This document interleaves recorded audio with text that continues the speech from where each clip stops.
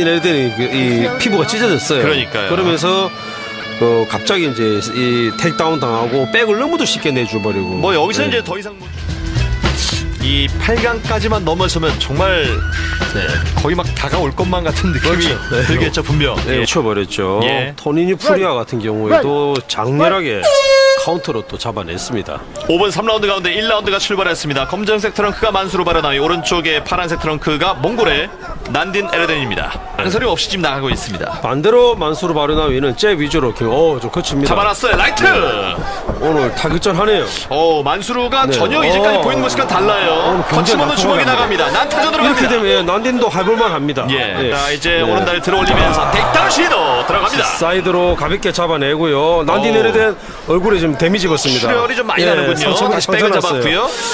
여기서 길기를 할 잠깐? 멈춰야 될것 예. 같은 느낌인데요. 자, 하지만, 예. pounding 칩니다. 턱이 걸려 있습니다만 어려워요. 들어가고 있어요. 그대로 지켜보고. 있는 아. 허브딘 주심인데요.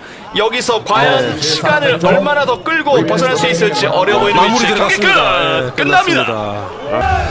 4강행을 확정 짓고 있는 퀸즈 만수르 바르나위입니다. 아, 오늘 굉장히